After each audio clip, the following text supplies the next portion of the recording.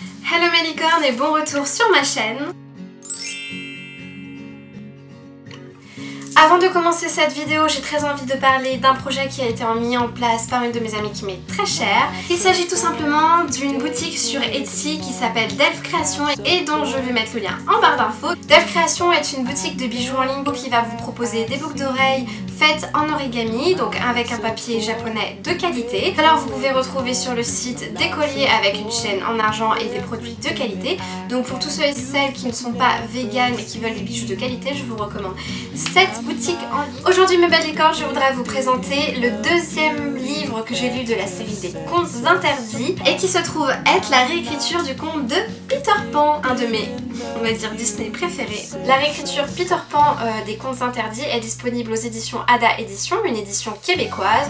Donc vous retrouverez souvent des auteurs québécois qui participent à la réécriture de plusieurs contes euh, dans euh, la série Les contes interdits. N'hésitez pas à aller jeter un coup d'œil sur le site Ada Édition. ce conte-là a été réécrit par Simon Rousseau. Je tiens à le préciser, très important, ce conte n'est pas forcément adapté pour tout le monde de par sa violence et ses propos.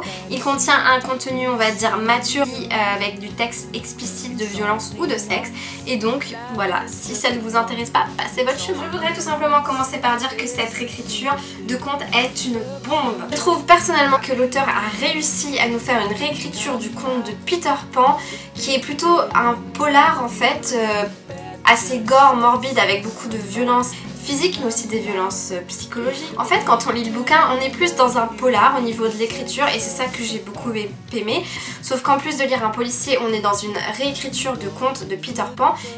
Dans cette réécriture de conte, nous allons tout simplement suivre les aventures de l'inspecteur dit le capitaine Hook qui va tenter de retrouver Wendy et ses deux frères. Une des amies du capitaine Hook va venir le voir pour lui demander de l'aider à retrouver ses enfants puisqu'elle les a adoptés. Il va donc s'aider et tenter de les retrouver. Les idées de réinterprétation des personnages sont vraiment géniales parce que tout le monde est lié. Par exemple, euh, comment on va retrouver les trois orphelins Wendy euh, sachant qu'ils n'ont aucun lien, on va dire pour le moment, avec Peter Pan au début du récit.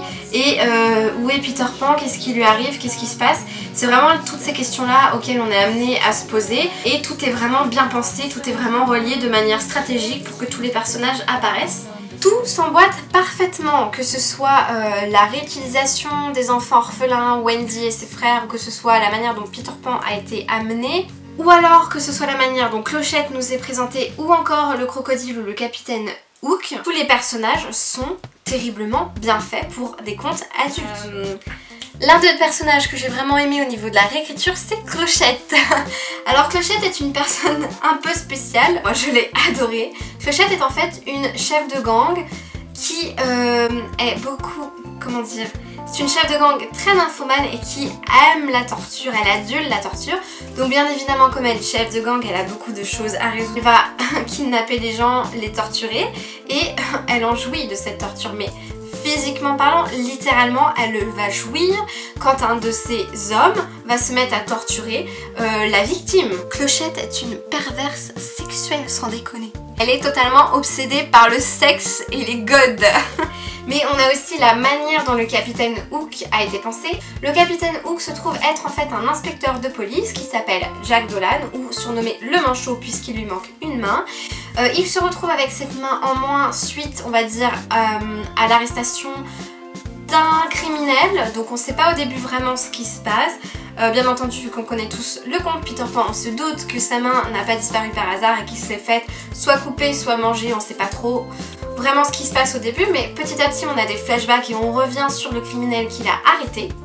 Concernant le crocodile, euh, je trouve que le crocodile est génialissime, il est tellement bien écrit, je suis fan absolue des mimiques qu'il a sur le visage, de la manière dont il se comporte, de la folie qu'il a au niveau, euh, pas simplement du personnage qu'il est, mais au niveau du mental et la manipulation qu'il arrive à faire avec les gens qui l'entourent et notamment par rapport à la manière dont il manipule. Euh, l'inspecteur Hook, pour bien comprendre, Peter Pan est un enfant mort de base et tout le récit de James Barry peut être interprété comme on le veut mais on est vraiment sur cette idée de l'enfant qui ne grandit pas. L'enfant qui grandit pas, c'est l'enfant qui est mort. Donc par rapport à ça, il n'y a pas 36 000 solutions de réécriture et la manière dont il a été interprété et refait par Simon Rousseau est génialissime. Ce qui est très intéressant dans Peter Pan, c'est qu'on va avoir euh, pas forcément un enfant qui est sain d'esprit pour plusieurs raisons mais on a vraiment cet enfant qui est malsain d'esprit. En fait pendant tout le récit on se demande qu'est-ce qui est arrivé à Peter Pan, pourquoi il est ici, comment ça se fait qu'il se retrouve dans ce Neverland, etc. Euh, et plein d'autres choses qui se passent dans le récit euh, sont finalement expliquées par ce qui lui est arrivé, comment il est arrivé dans cette position là et euh, je vous en dirai pas plus pour vous laisser découvrir le roman. Dans le récit de Peter Pan on est vraiment à l'opposé des valeurs qu'on avait on va dire dans le Disney par rapport à Wendy et Peter Pan qui étaient plus ou moins euh, en découverte euh, d'une relation un peu amoureuse.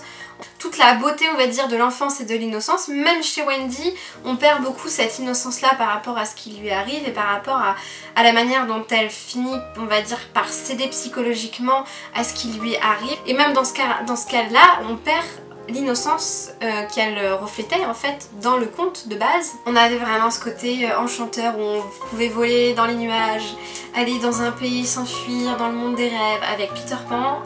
Et là on est très loin de tout ça. Je vous laisse découvrir, je n'ai pas envie de tout vous dire, j'ai déjà parlé de trois personnages de ce conte là. Donc je vous laisse voir comment Wendy et euh, Lily et les enfants de la forêt et beaucoup d'autres personnages interviennent dans le roman. On a vraiment envie de le lire très rapidement parce qu'on est à fond dedans et c'est dur de se détacher des personnages, c'est dur de se détacher de l'horreur de ce qu'ils font ou de l'horreur qu'ils ont connue et dont ils ont été victimes. Et au final, euh, on arrive quand même à avoir des sentiments comme de la compassion et de l'empathie pour ces personnages même s'ils sont mauvais. Mais le pire de tout, c'est la fin. La fin m'a tuée, mais littéralement, elle m'a détruite quand j'ai lu ce livre. Alors, ne vous trompez pas, la fin est juste génialissime. Je veux dire, moi j'aurais pas voulu une autre fin.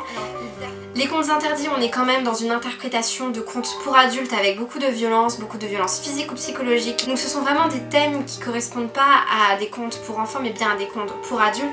Du coup quand on part dans la lecture de ces livres-là, j'ai pas forcément envie de m'attendre à une fin heureuse. Honnêtement, pendant tout le récit, je ne voulais qu'une chose, c'était que, que les personnages s'en sortent. Pas vous spoiler la fin, mais la fin est juste explosif, euh, on va dire au niveau des émotions. Elle est tellement bien pensée que rien que d'y repenser, j'en suis pas encore totalement remise. En fait, ce roman n'est pas fait pour tout le monde, âme sensible, s'abstenir. Vous n'aimez pas les contenus violents ou euh, on va dire avec euh, des abus plus ou moins psychologiques ou sexuels, je ne vous recommande pas ce livre. Par contre, si vous êtes à fond dans la réécriture des livres, qu'elles soient violentes ou non, je vous conseille cette série et notamment Peter Pan et le premier que j'avais fait aussi Blanche-Neige. C'est l'une de mes réécritures préférées, n'hésitez pas à aller en découvrir un peu plus sur le site Ada Edition. N'hésitez pas à partager cette vidéo pour soutenir ma chaîne. Aussi n'hésitez pas à commenter en bas de cette vidéo si vous avez des choses à dire ou si vous voulez que je vous présente d'autres livres qui pour vous méritent d'être connus et qui ne sont pas forcément. Je ne cherche pas un nombre de vues, je veux juste produire des vidéos qui me plaisent. Alors si vous avez des livres que vous pensez qui pourraient me plaire et que vous avez vraiment envie euh, de voir en vidéo, n'hésitez pas à les proposer en commentaire. Vous pouvez aussi me retrouver sur mon compte Instagram AliceLight3.